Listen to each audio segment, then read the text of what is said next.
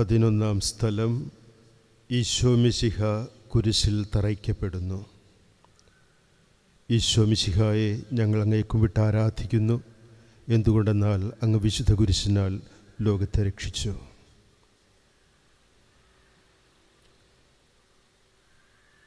സ്നേഹമുള്ളവരെ പതിനൊന്നാം സ്ഥലം നമ്മൾ ധ്യാനിക്കുമ്പോൾ മനുഷ്യപാപങ്ങളുടെ വിധിയോട് തന്നെ തന്നെ ചേർത്ത് പിടിക്കുന്ന തുന്നിച്ചേർക്കുന്ന ഒരു രക്ഷകനെയാണ് നമ്മൾ കണ്ടെത്തുക.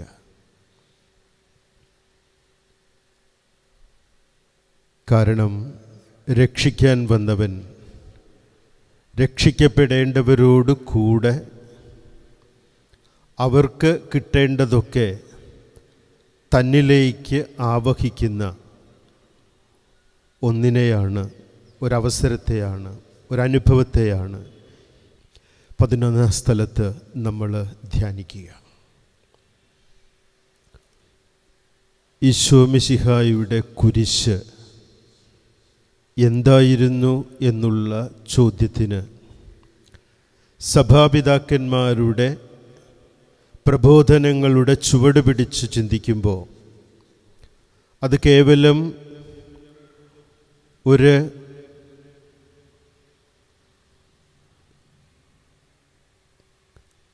രണ്ട് മരക്കഷ്ണങ്ങളിൽ ഒതുക്കപ്പെടേണ്ട ഒന്നായിട്ടല്ല.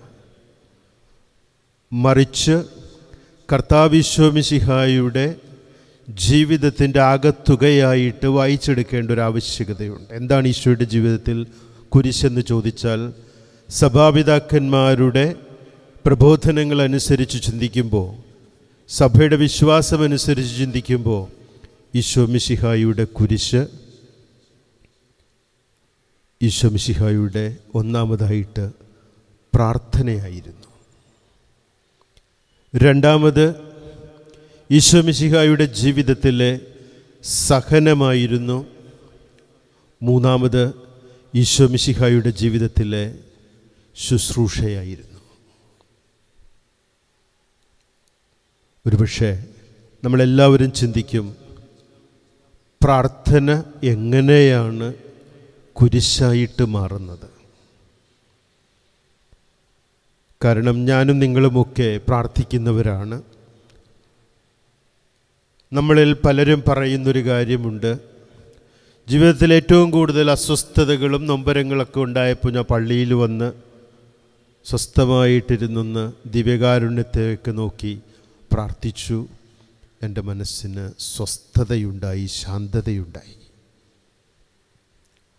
അല്ലായിൽ ജീവിതത്തിൽ പ്രതിസന്ധികളുടെ ഇടയിൽ അവയൊക്കെ അതിജീവിക്കുന്നതിന് അതിനെയൊക്കെ അതിജീവിച്ചുകൊണ്ട് ആഗ്രഹിക്കുന്ന ലക്ഷ്യസ്ഥാനങ്ങളിൽ എത്തുന്നതിന് വേണ്ടി പ്രാർത്ഥനാ നിർഭരമായ എന്റെ ചിട്ടയായിട്ടുള്ള ജീവിതം എന്നെ അതിന് പ്രാപ്തനാക്കി പ്രാപ്തയാക്കി എന്നൊക്കെ നമ്മൾ ചിന്തിക്കുന്നവരാണ്. എന്നാൽ ഒരു കാര്യം നമ്മൾ ഓർക്കുക. ജീവിതത്തിലെ ഏറ്റവും ക്ലേശകരമായ ഒരു ചുറ്റുപാടിൽ പ്രാർത്ഥിക്കുന്ന യേശുവിനെക്കുറിച്ച് സുവിശേഷകനായ ലൂക്ക ഇങ്ങനെയാണ് സാക്ഷ്യപ്പെടുത്തുന്നത്. പ്രാർത്ഥിക്കാൻ ചെന്ന ഈശോ കൂടുതൽ പര്യാകുലനാകാൻ തുടങ്ങി. ഈ ആകുലത കേടി കയറി വന്നതനുസരിച്ച് ഈശോയെക്കുറിച്ച് ലുക്ക പറയും അവിടുന്ന് കൂടുതൽ തീക്ഷ്ണമായിട്ട് പ്രാർത്ഥിച്ചു. ഇനി ആ പ്രാർത്ഥനയ്ക്ക് ഒരു പടി പടി കൂടി കടന്നുകൊണ്ട് ലൂക്ക പറയുന്നുണ്ട് അദ്ദേഹത്തിന്റെ രക്തം വിയർപ്പായിട്ട് പുറത്തു വന്നു.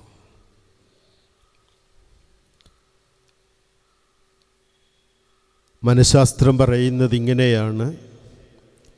ഒരു മനുഷ്യന് താങ്ങാൻ കഴിയുന്നതിനേക്കാൾ അധികമായിട്ടുള്ള ഹൃദയവ്യഥയുണ്ടായി കഴിഞ്ഞാൽ അയാൾ ഹൃദയം പൊട്ടി മരിക്കും.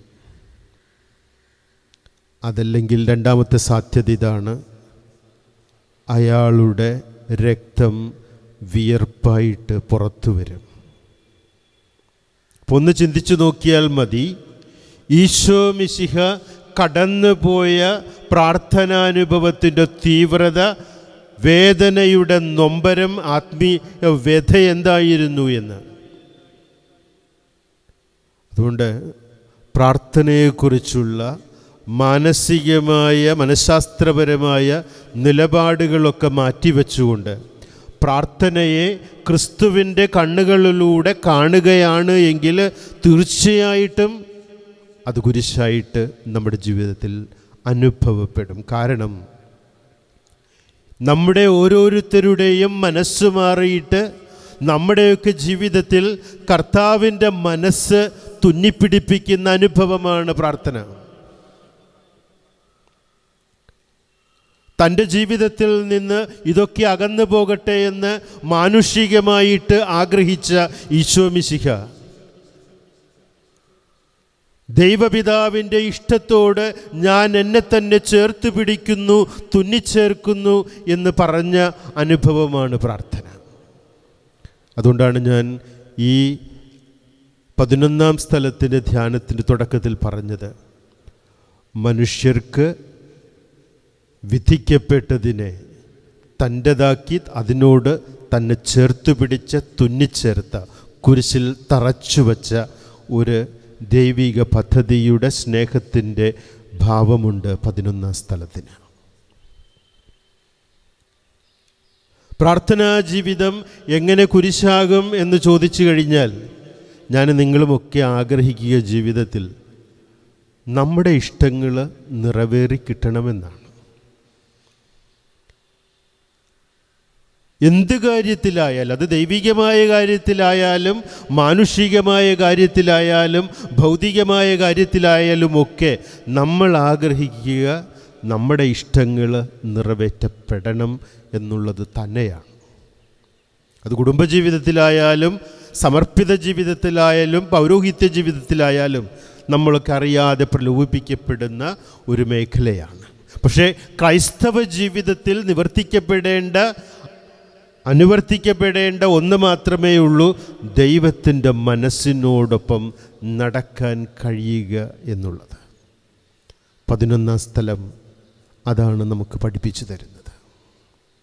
അപ്പോൾ പ്രാർത്ഥന എങ്ങനെ കുരിശാകുമെന്ന് ചോദിച്ചാൽ എന്റെ ഇഷ്ടം വിട്ടുപേക്ഷിക്കുക അത്ര എളുപ്പമുള്ള കാര്യമല്ല. ഞാൻ എന്നോട് തന്നെ അതിന് മരിക്കാതെ സാധിക്കുകയില്ല. പ്രാർത്ഥന ആത്യന്തികമായിട്ട് അതുകൊണ്ടാണ് ഞാൻ മാറിയിട്ട് എന്നിൽ യേശു വരുന്ന യേശുഭാവം ഉണ്ടാക്കുന്ന ഒരനുഭവമാകണം. ഇതിന് വിഘാതമായിട്ട് നിൽക്കുന്നത് എന്റെ ഞാൻ എന്റേത് എന്നുള്ള ചിന്തയിൽ നമുക്ക് വരുന്ന അഹംഭാവത്തിന്റെയും അഹങ്കാരങ്ങളുടെയും വഴികളാണ്. ഞാൻ നിങ്ങളും മനുഷ്യരെന്ന നിലയിൽ അഹംഭാവമുള്ളവരും അഹങ്കാരമുള്ളവരുമാണ്. എന്താണ് അഹംഭാവം എന്ന് ചോദിച്ചാൽ ഞാൻ തെറ്റിദ്ധരിച്ചിരിക്കുകയാണ്. നമ്മൾ ഓരോരുത്തരും തെറ്റിദ്ധരിച്ചിരിക്കുകയാണ്. ഞാൻ എന്നിൽ തന്നെ ഭവിച്ചിരിക്കുന്നു. അതുകൊണ്ട് എന്റെ പ്രവർത്തികൾ മുഴുവൻ ഞാൻ ആ രീതിയിലേക്കാണ് കൊണ്ടുവരാൻ വേണ്ടി നോക്കുന്നത്. അഹംഭാവത്തെ ഊട്ടി ഉറപ്പിക്കുന്ന അഞ്ച് അഹങ്കാരങ്ങളുണ്ട്. അഞ്ച് പ്രവൃത്തികളുണ്ട്. ഒന്ന് ഞാൻ എനിക്ക് വേണ്ടി ചിന്തിക്കുന്നു.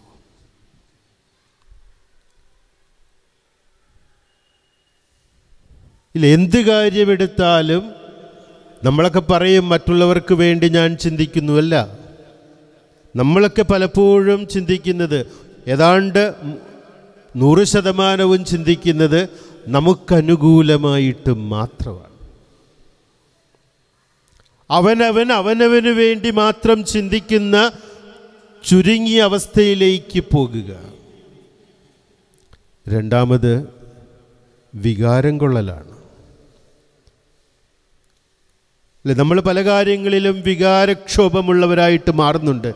ഒന്ന് നമ്മളൊന്ന് ആത്മശോധന ചെയ്ത് നോക്കുന്നത് നല്ല നല്ലതാണ്. എന്തുകൊണ്ട് ഞാൻ വികാരനിർഭരനായിട്ട് ഈ രീതിയിൽ പ്രകോപിതനായിട്ട് ഞാൻ എന്നെ തന്നെ മറ്റുള്ളവരുടെ മുമ്പിൽ തുറന്നു വെച്ചു. കാരണം ഞാൻ എനിക്ക് വേണ്ടി തന്നെ വികാരം കൊള്ളുന്നവനാണ്. മൂന്നാമതായിട്ട് ആഗ്രഹിക്കുക. നമ്മൾ അഹങ്കരിക്കുന്നതിന്റെ വഴികളിൽ ആഗ്രഹം ഒരു കാര്യമാണ്. അവനവന് വേണ്ടി ആഗ്രഹിക്കുക. ഞാൻ എനിക്ക് വേണ്ടി ആഗ്രഹിക്കുക. അത് കിട്ടാതെ വരുമ്പോഴാണല്ലോ നമുക്കെല്ലാവർക്കും ഇച്ഛാഭംഗവും അതിനെ തുടർന്നുള്ള പ്രതിസന്ധികളൊക്കെ ജീവിതത്തിലുണ്ടാകുക.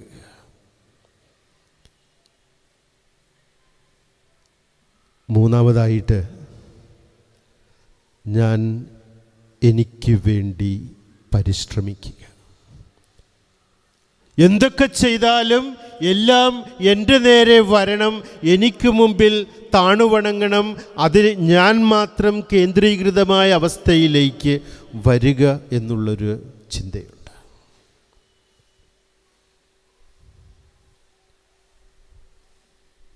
അഞ്ചാമതായിട്ട്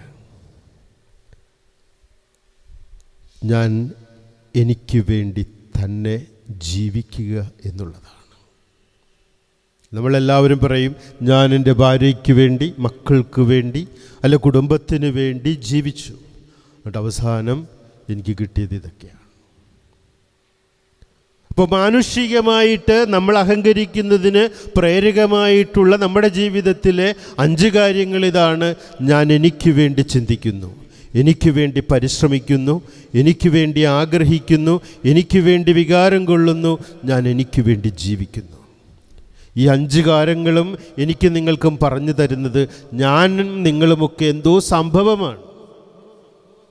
ഞാൻ എന്നിൽ തന്നെ ഭവിച്ചിരിക്കുന്നു.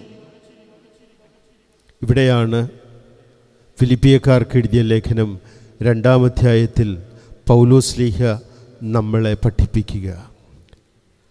അഞ്ചാമത്തെ വാക്യമാണ് നിങ്ങൾക്ക് കർത്താവിശ്വമിശിഹായുടെ മനോഭാവം ഉണ്ടായിരിക്കട്ടെ.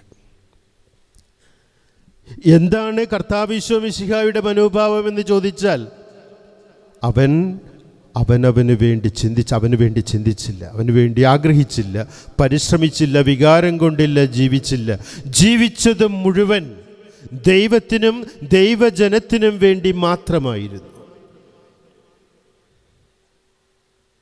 നമ്മുടെയൊക്കെ പ്രലോഭിതമാകുന്ന മേഖല ഇതാണ്. അതുകൊണ്ടാണ് പറഞ്ഞത് നമ്മളുടെ അഹങ്കാരങ്ങളെയൊക്കെ വിട്ട് പ്രാർത്ഥനാ നിർഭരമായ കണ്ണുകളോടുകൂടെ ജീവിതത്തെ കാണുമെങ്കിൽ ഒരു സഹനങ്ങളും വെറുതെയല്ല എന്ന് നമുക്ക് വായിച്ചെടുക്കാൻ പറ്റും.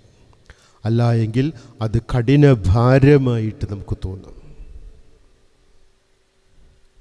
ഇനി സഹനങ്ങൾ ആണ് യേശുവിന്റെ ജീവിതത്തിലെ കുരിശെന്ന് നമ്മൾ പറഞ്ഞു. എന്താണ് അതിനർത്ഥം? സഹനങ്ങൾ കുരിശായിട്ട് മാറുന്നത് എപ്പോഴാണ്? എങ്ങനെയാണ്? സഹനങ്ങൾ അതിൽ തന്നെ ഒരു തിന്മയാണ്. അങ്ങനെയാണ് തത്വശാസ്ത്രം പഠിപ്പിക്കുന്നത്.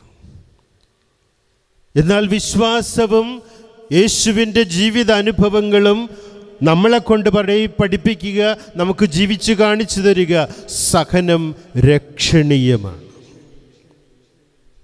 അല്ലേ? ഞാനും നിങ്ങളുമൊക്കെ നമ്മൾക്ക് ചുറ്റുമുള്ളവരെ നമ്മളെ സ്നേഹിക്കുന്നു എന്ന് പറയുന്ന ദൈവത്തെ സഹോദരങ്ങളെയൊക്കെ സ്നേഹിച്ചു എന്നുള്ളതിന് എന്ത് തെളിവാണുള്ളത്?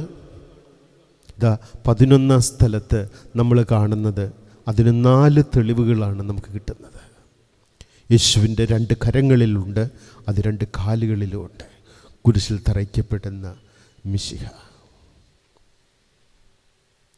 സ്നേഹിച്ചു എന്നുള്ളതിന് തെളിവായിട്ട് എന്തടയാളം എനിക്കെന്റെ ജീവിത പങ്കാളിക്ക് മക്കൾക്ക് എന്റെ വിശ്വാസ സമൂഹത്തിന് എന്റെ ദൈവത്തിന് എനിക്ക് കാണിച്ചു കൊടുക്കാൻ പറ്റും? ഉദ്ധിതനായ മിശിഹ താൻ തന്നെയാണ് മിശിഹ എന്ന് തെളിയിക്കുന്നതിന് കാണിച്ചു കൊടുത്ത അടയാളം കൈകളാണ്. തോമസിന് പാർശ്വമാണ് കാലുകളാണ്. അതുകൊണ്ട് പതിനൊന്നാം സ്ഥലം ധ്യാനിക്കുമ്പോൾ നമ്മളോട് തിരുവചനം ചോദിക്കുന്നുണ്ട് നീ സ്നേഹിച്ചു എന്നുള്ളതിന്റെ എന്ത് സഹനങ്ങളുടെ തിരിമുറിവാണ് നിന്റെ ജീവിതത്തിൽ ഉള്ളത്? അവസാനമായിട്ട് യേശുവിന്റെ കുരിശ് ശുശ്രൂഷയാണ്. എന്താണ് ഇതിനർത്ഥം? നമ്മുടെ മലയാളത്തിൽ ശുശ്രൂഷ എന്ന വാക്കുമുണ്ട് സേവനം എന്നുള്ള വാക്കുമുണ്ട്. സേവനത്തിന് എന്താണ് പ്രത്യേകതയെന്ന് ചോദിച്ചാൽ സേവനം കഴിഞ്ഞാൽ അതിന് പ്രതിഫലമുണ്ട്. ഉദാഹരണമായിട്ട് ഞാൻ ഈ ദേവാലയത്തിലേക്ക് വരുന്നതിന് പള്ളുരുത്തിയിൽ നിന്നൊരു ഓട്ടോറിക്ഷ പിടിച്ച് ഈ ദേവാലയത്തിന്റെ മുമ്പിൽ വന്ന് ഇറങ്ങുമ്പോൾ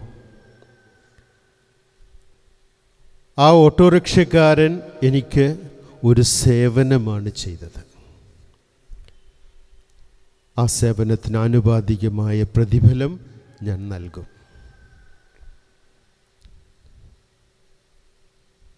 എന്നാൽ ക്രൈസ്തവ ശുശ്രൂഷയിലതല്ല മാനം. ശുശ്രൂഷയ്ക്ക് പ്രതിഫലം ഇല്ല. എനിക്ക് നഷ്ടമുണ്ടായാലും നിനക്ക് നേട്ടമുണ്ടാകണം എന്നുള്ള ചിന്തയാണ് അതിന്റെ പുറകിലുള്ളത്. അതുകൊണ്ട് പൗലോസ് ലീഹ തന്നെ നമ്മളോട് യേശുവിനെക്കുറിച്ച് പറയും. റോമാക്കാർക്ക് എഴുതിയ ലേഖനത്തിൽ അവിടുന്ന് സമ്പന്നനായിരിക്കെ തന്നെ തന്നെ ദരിദ്രനാക്കി നമ്മളെ പ്രതി. ഇതാണ് ശുശ്രൂഷ. അപ്പോൾ പതിനൊന്നാം സ്ഥലം നമ്മളിൽ നിന്ന് മൂന്നാമത്തെ ചോദ്യം ഉന്നയിക്കുകയാണ്. നിന്റെ ശുശ്രൂഷകൾ നിനക്കുണ്ടാക്കിയിട്ടുള്ള കുറവുകളെക്കുറിച്ച് എന്ത് നീ തിരിച്ചറിയുന്നു എന്ന്? മറ്റുള്ളവരൊക്കെ വളർന്നതാണോ നിനക്കുണ്ടായിട്ടുള്ള കുറവുകൾ? അല്ല എങ്കിൽ നിന്റെ കുറവുകളോടൊപ്പം നീ മറ്റുള്ളവരെ കുറവുള്ളവരാക്കാൻ വേണ്ടി പരിശ്രമിച്ചുവെങ്കിൽ ക്രിസ്തുവിന് അനുരൂപനാകാനുണ്ടായിരുന്ന ജീവിത അനുഭവങ്ങളെ തള്ളിക്കളഞ്ഞു എന്ന് തന്നെ നമ്മൾ തിരിച്ചറിയണം. അതുകൊണ്ട് ഈ വിശുദ്ധമായ വഴിയിലൂടെ നമുക്ക് നടക്കുമ്പോൾ ഒന്ന് ചോദിക്കാം. എന്റെ പ്രാർത്ഥന എന്റെ ജീവിത ദുഃഖങ്ങൾ എന്റെ ക്രൈസ്തവ ജീവിതമാകുന്ന ശുശ്രൂഷകൾ ക്രിസ്തുവിനോടൊപ്പം രക്ഷണീയമാകാൻ കഴിയുന്ന വിധത്തിൽ വാഴ്ത്തപ്പെടുമോ? അല്ല എങ്കിൽ ഈ നോമ്പുകാലം അതിലേക്ക് ഉണർവുള്ളവരാകാൻ നടന്നെടുക്കാൻ എന്നെയും നിങ്ങളെയും പ്രേരിപ്പിക്കുന്നു.